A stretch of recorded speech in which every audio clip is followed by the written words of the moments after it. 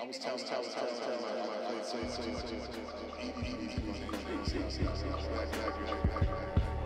Him on, on his black Jabee? Panther- Yes. Yeah, Jabee. Jabee, So yeah. What was it about him that would make you want to work with him? Um, a brother is, you know, I I try to help artists in all their little areas, in all their big areas, try to get to that next level. If, if, this, if this was basketball, I'd be like a coach or a team, you know, general manager. That's, oh, you want to see cats come in and do their thing. You know, you're not from little Oklahoma City. You, the cat in Oklahoma, you can take either coast. It's about your, your style and your skill, your dedication, your passion